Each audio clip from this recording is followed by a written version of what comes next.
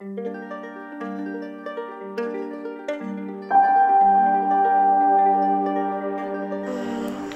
9 лет будет 10. Меня зовут Лена, и родилась я не в городе, а в селе Широкино.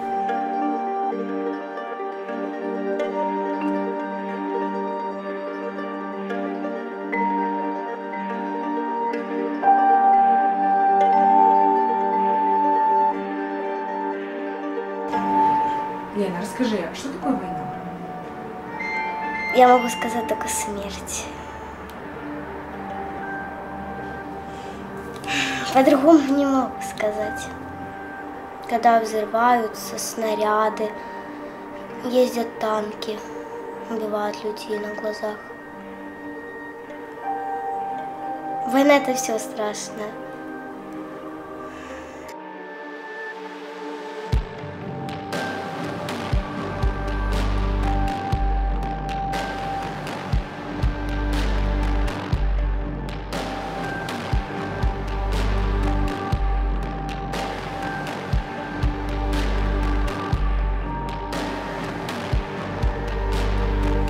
Когда я гуляла в Широкино подружки, и мой друг с моря бежал, говорил, что там танки, когда мы в бинокль смотрели, как окопы рыли.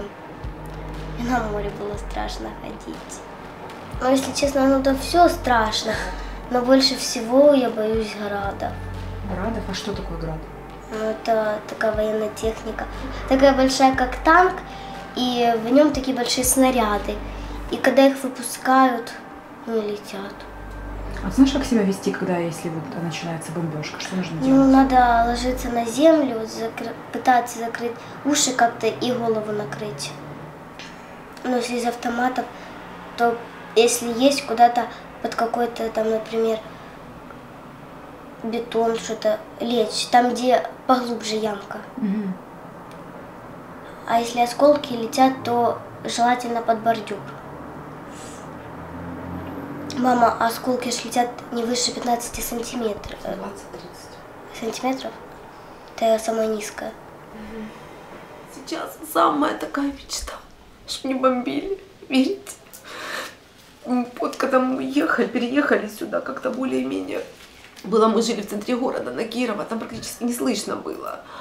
А когда мы переехали сюда, слышно. И вот я думала, что мы уже так не боимся, что мы вроде бы успокоились, вроде бы уже не так.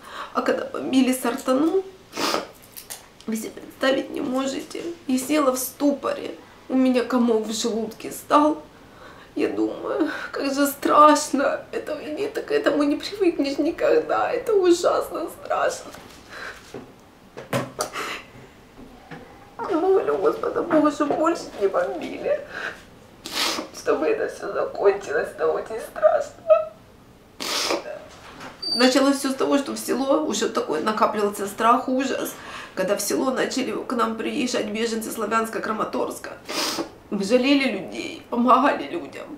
Но вы знаете, до конца мы не осознавали, что это происходит. До конца нет. А потом, когда это все случилось в нашем Новозовском районе, и люди массово, беженцы, которые были у нас, начали выезжать все.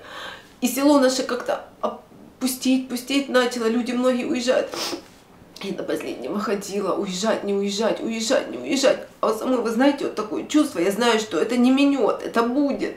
И вот мы когда уезжали 2 числа, а село первый раз бомбили 4 мы уезжали 2 и вот когда меня муж провожал на остановке, вы знаете, я никогда так не плакала, как тот день, я так плакала, а люди сейчас на остановке стоят на меня смотрят, не могут понять, почему я так плачу. И мы всю дорогу плакали, потому что я знала, что это уже весело. Проезжали разбитые, загоревшие танки, машины, побитые дома, это так страшно, а где-то стреляют, это ужасно. А до этого, перед тем, как уезжать, идем как-то, а, а стреляют все ближе, ближе к нам подходят. Идем с ней от свекрови, мы буквально через один дом жили. А ну как, бабахнет, аж задрожало все. А она вцепилась мне в руку. И вот эти слова я на всю жизнь запомню. Говорит, мамочка, если бы ты знала, как жить хочется. И Ты что такое говорила? Говорила, дочечка. И, и у меня как поступил кому горло, это было окончательно то, что я решила уехать. И все. И вот это мы выехали 2 числа, 4 уже бомбили. Мы-то и хотим. А как отстроить? Э, Кто это будет отстраивать? За какие? Это Это сумасшедшие деньги, чтобы подстроить. Полностью уничтожена вся инфраструктура. Нет ни света, ни газа, ни воды. Все уничтожено. А чтобы это все восстановить заново, это сумасшедшие деньги. Вот наш дом, сказали после этой бомбежки, он восстановлению не подлежит совершенно. Его нужно, сказали, разрушить полностью, заново построить. Это твой дом. Так вот он выглядит, да? Ну, не так, вот там еще соседний был. У нас один дом. Потом пыталась Бима на будку нарисовать.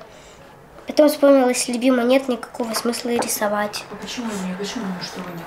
Может, там где-то он бегает? Ну, я не знаю. Может, он просто не знает, как сюда прибежать? Мама рассказывала, что их будут собирать военные. Он очень сильно скучает за своей собакой. Очень сильно. Мы уезжали, мы ее жалею сразу, что не забрали. Мы, мама живет у меня в квартире, ее некуда было просто. Она привыкла, она дворовая собака. Ну, Скажи бабушке, что мы перезвоним. сейчас заняты. Собачка вот эта моя. Такая вот она хорошая, это она сонная сидит.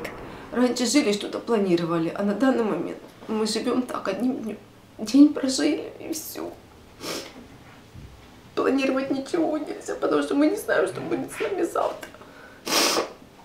Я вам говорю, вся Донецкая и Луганская область живет в ожидании не знает чего. Никто не знает, что с ними будет завтра. Никто. Раньше какие-то планы строили, мечтали о чем-то. А сейчас нет. Э, Если бы три желания, я бы выбрала самое главное. Закончить войну и вернуть дом все, что у меня было. Ну, если ты хочешь за одно желание что-то загадать побольше, то ты должен сказать, хочу, чтобы закончилась война, вернулся дом. Так это одно желание.